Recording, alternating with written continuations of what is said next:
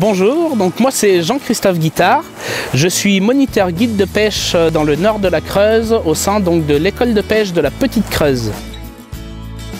Nous, on propose euh, beaucoup d'animations, donc euh, notamment vers les jeunes générations, donc avec euh, notamment une école de pêche, des inscriptions à l'année, mais aussi beaucoup d'animations estivales en juillet et en août, donc de la pêche des écrevisses, de l'initiation pêche en flotte tube, pêche à la mouche, pêche de la truite au toc, aux appâts naturels ou au l'air.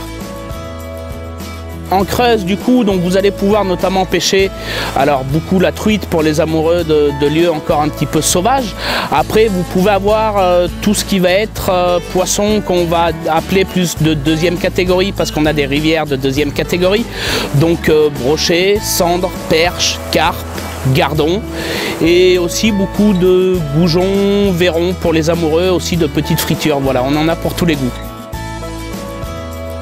Sur le département de, la Creuse, on a l'avantage, c'est qu'on a encore des ruisseaux et rivières comme ici. Aujourd'hui, on était sur le Véro.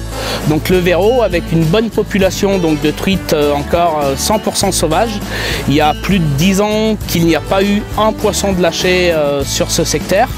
Et c'est pour ça notamment que la fédération a choisi eh ben, de classer ce parcours en parcours no-kill. Donc c'est-à-dire on peut venir pêcher et on remet son poisson à l'eau.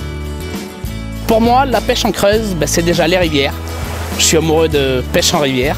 Après, c'est le calme que l'on retrouve euh, sur ces rivières et la beauté, la beauté des paysages et des poissons.